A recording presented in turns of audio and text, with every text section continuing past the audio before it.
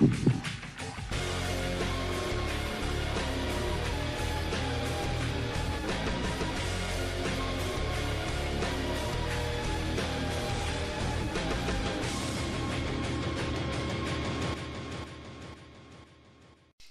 is up, guys? This is Ace on and Dragon giving you another episode of the Lionheart Podcast. Yo, what's going on, guys?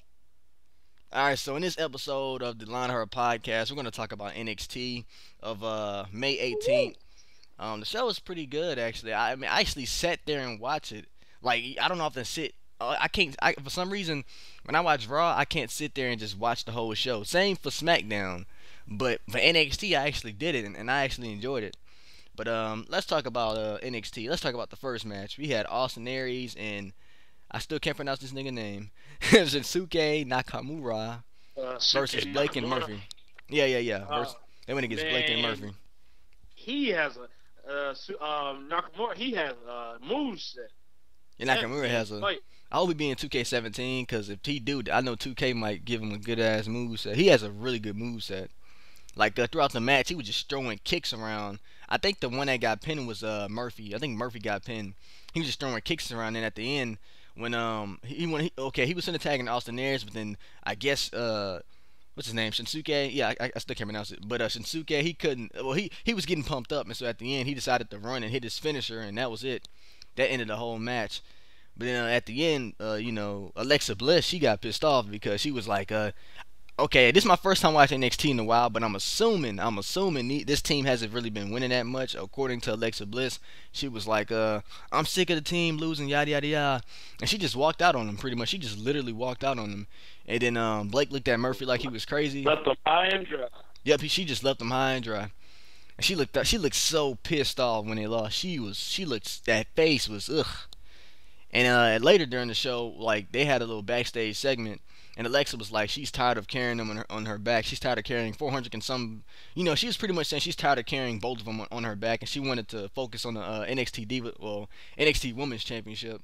Y'all niggas is holding me down. I can't do this no more. Oh wow. and that she pretty much walked out, and they looked at each other face to face, and that's when they just moved on with the show.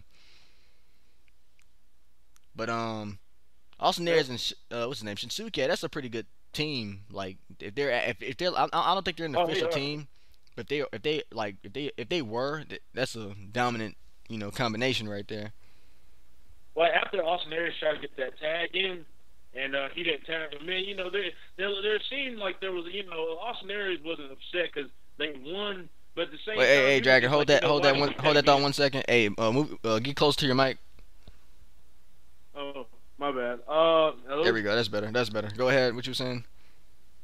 Okay, I said, uh, I said, uh, Hmm. um, Austin Aries wasn't mad because they picked, uh, they were able to pick up the win, but uh, Nakamura, you know, uh, he was just like, you know, why didn't you tag me in, man? You know, have the hand up, you know, share the sugar pretty much. But I mean, yeah, it would be a nice tag team. I can see it. Right, I hope you understood what Dragon said because it was kind of. but anyway, uh, let's see. What happened after that? What was the second match on NXT? Right, we had Carmella, Carmella versus Peyton Royce. Um, the match was, you know, it was pretty much back and forth. Peyton Royce, she went for this. I like this move she did. It was like a, uh, it was kind of like it was kind of like Three Amigos, but she kind of modified it. At the end, she turned it to like she turned it to a uh, fisherman suplex. But at the end, Carmella, she ended up hitting this flatliner move, and she ended up doing an inverted, um, what is it called? The inverted triangle, and that move looked crazy. And I'm assuming Oh assuming, yeah, yeah, yeah. I'm assuming it's a new It, move. it's kind of like what Sami Zayn did, but it's like you know times ten. Yeah, it's kind of yeah. It, it reminded me of the uh, the Kobe clutch when I first saw it, but it's like it, it was pretty much her version of it, kind of. And it's called the inverted triangle. That's pretty. And I, I'm I'm- I'm glad you know she's still doing good without Enzo and um Big Cass, cause like you know after watching that match, after watching that match, that pretty much showed. Well, for a long time, a lot of people pretty much knew she she has potential on her own. You know, uh, to getting that NXT Women's Championship. You know, she she doesn't have to have Big Cass or Enzo on her back. She's still repping them, but you know, she's pretty much on her own now. And she's doing pretty good, in my opinion. So Yeah, she uh, she uh, she has a future in the company. I see it. wow. Oh, let's see. she does. Let's see what else we had. We had uh okay they showed a a, um, um, a highlight from Finn Balor and Samoa Joe signing a contract for the um, NXT Takeover on June 8th. Um, that uh, oh yeah, this, I'm watching that. this match is gonna be intense for real, man. These two are fighting in a steel cage match. The, it, it's the first ever steel cage match for NXT. That's gonna be intense. Who you going for in that match, Dragon? Yeah, I'm watching that. Uh, man, I, sadly, I think I'm gonna pull up for Simone Jones this week. I'm pulling for Simone. Hey, Jack, get, get, close, get closer to your mic. You know, I said I'm pulling for Simone Jones. Okay. Um, I, I honestly don't know who's gonna win. I th- I want I kind of I want Joe to win. Yeah, I think Joe's gonna win. Let me let me. Yeah, I, I think I, I agree with you. I think Joe's gonna win. I don't think they're gonna let Finn Balor win it again. It's possible, but I just think Joe. I think Joe is gonna win. I just think it's time for Finn Balor to move on to the main roster. That's Hey. I, I heard a rumor he didn't want to go. He he didn't want he didn't want to go into the main roster yet because uh I guess he. oh wanted- yeah, it's, uh, that rumor's true. yeah, he said yeah. that he's not ready to move on. Yeah, he's not ready to move on to the main roster. That's why he wanted to stay on NXT. But I mean, I, I'd have no problem with that to be honest. As long as he's putting on some good matches, which I know he's probably gonna do, then I, I'm fine with that. Heck, a lot of people in heck, you you got guys like Tyler Breeze and uh what's his name Neville. Hell, hell, most of their matches anyway was better off on NXT. So I kind of want Finn Balor to stay on NXT. Go back to NXT, basically. That's what I'm saying. Yeah. Go back to NXT. Yeah. But um anyway, uh in the next match we had this is a new tag team actually. Tommaso Ciampa, I don't know if I said it right, and Johnny Gargano versus Rob Rising and Danny Burch. Now uh, Rob Rising and Danny Burch, they're pretty much like a local tag team in my opinion. They went against this new tag team of NXT, um Tommaso and Johnny, and that match was just man, I haven't okay, when I sat here and watched this match, like when I used to watch TNA back then, you I don't know if you guys might remember the Motor Machine Guns. Um, I like how they used to always be quick with their moves, and they do all these different variations of tag team moves, and that's what they did in this match. They did a shitload of tag team moves, and they were just so quick. And I would, and, and when I see stuff like that, that keep me watching the show, and that, that's what kept me, you know, watching. it was NXT. very interesting. That was a good ass man. Yeah, they did like they did all kinds of stuff. I it's not even in my head right now, but I remember like they did all kinds of crazy stuff. They did I think they did this double knee. This it, it was like a knee and a kick at the same time with someone head in the middle. It was crazy. But they ended up winning the match. It was a pretty good match. Yeah, I would actually love to see that on 2K. I would love to see that on 2K. Oh yeah. And all right, let's get into the main event: Nia Jax versus Bayley. Oh Oh man. my gosh. Whew. Oh man, if you, Oh, want to talk about God. domination, you had and Nia Jax. She straight up destroyed Bayley. First off, um, well, Bayley she tried to come back, but it, it just didn't work. She att- attempt was pretty good, but it just didn't work. First off, at one point in the match, Bayley tried to put Nia Jax in the headlock, but Nia Jax she was like, hell no. Nah. She just threw Bayley into that second turnbuckle. After that, I thought that was it, cause Bayley like she was she looked she was straight up knocked out. I thought that was it, but then she kicked out. And then throughout the match, um, I think in the past, Bayley had like a she injured her arm or something like that, and uh, Nia Jax was working on Bayley's arm throughout the whole match. She was doing leg drops on her arm. I think she did a um, it's like a it's like a modified arm and body slam. Like you put their arm behind their back and body slam them or something like that. She was just working on that arm, and at one point, uh, I think when uh, Bayley reversed one of her moves, like her leg, her leg, her knee started acting up, and then uh, referee was trying to check on her, and she was like, "Yeah, I can continue or whatever." And all of a sudden, Nia Jax just ran and she gave her a big ass King Kong Bundy splash. And then she started working in that arm. I think she started. I think she did something to her leg. Yeah, she she leg dropped her leg, and after that, she just ran back to the rope and leg dropped her head, and that was it. Like she leg dropped right on top of you know like the back of her head, just He boom. had that reverse Hulk Hogan.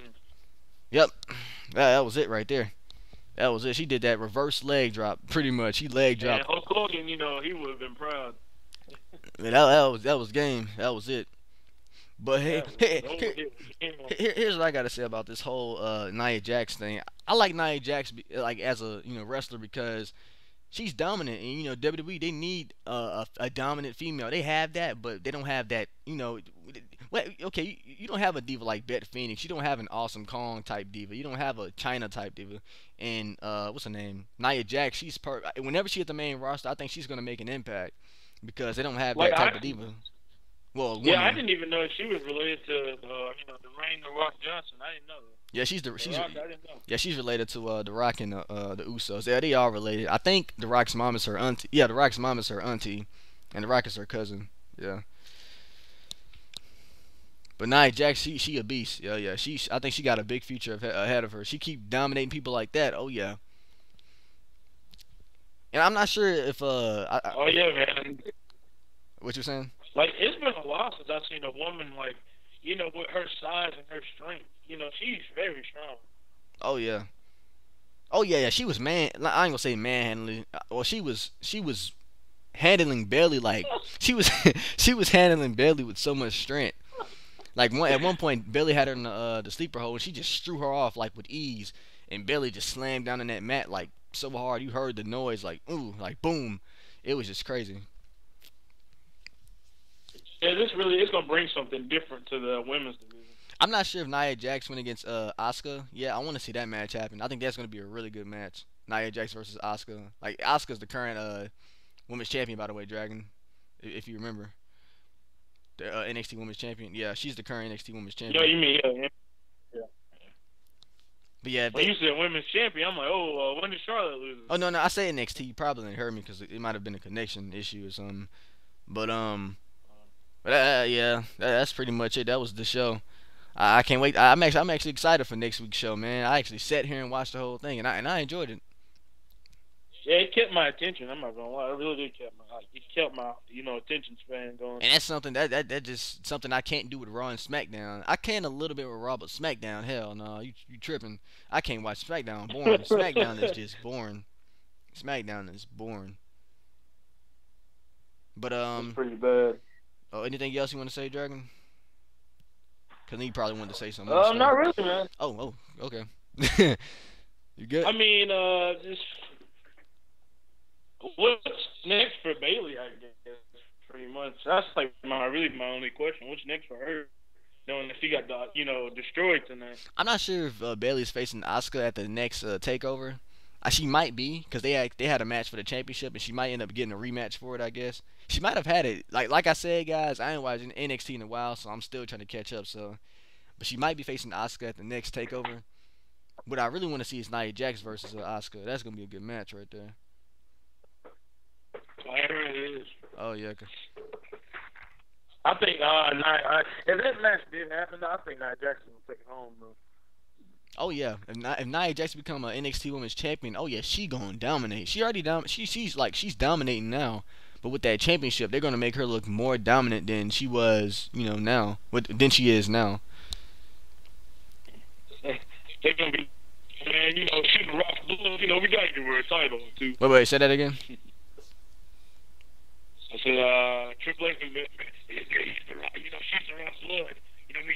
Okay, guys, sorry about that. I, I don't know what's going on. Dragon voice sound really low. Like something's going on. Wait, say, say that one more time, Dragon. I said Triple H is gonna be like, uh, you know, it, it, you know, she's the uh, the Rock's blood. We have to give her a title too. Oh wow.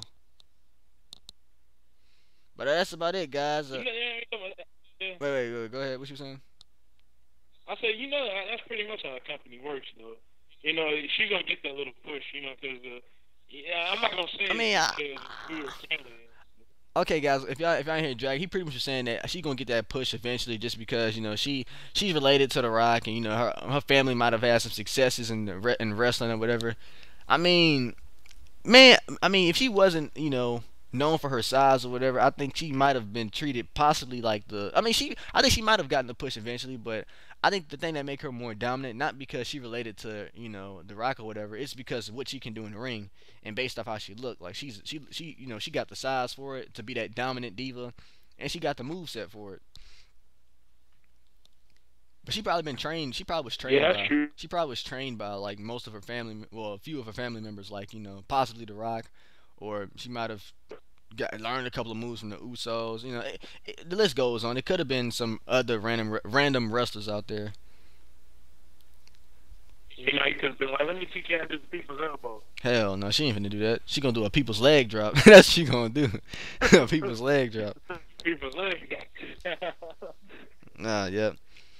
But um, uh, well, that's about it, guys. Thank y'all for watching this podcast. Uh, stay tuned for the next episode of the Lionheart Podcast. We're probably gonna uh do the next episode on Raw, which will be Monday. So stay tuned for that, y'all. Wait, wait, wait, Extreme Rules this Sunday. So we gonna do Extreme Rules. Oh, yeah, yeah, Yeah, yeah, extreme, yeah. Extreme Rules. We're gonna do that. We we gonna do Extreme Rules on Raw next week and NXT as well. Maybe SmackDown. It depends if you know me and Dragon agree to do it. But uh, thank y'all. And it, might do the spoilers, maybe. yeah, maybe the spoilers. If you guys want the spoilers, if you guys want us to talk about SmackDown, just leave that in the comments because I, I I don't mind doing it. You know, it, it's based off. I'm, we, we're, men, we're we're guys of the people. We're men of the people. So whatever y'all want, just comment down below. But uh, thank y'all for watching. Make sure y'all leave a like and subscribe. Go ahead and subscribe to Dragon Channel. I'm gonna leave that in the description and subscribe to my channel too. trying to hit that 2K sub soon. And thank y'all for watching. Peace.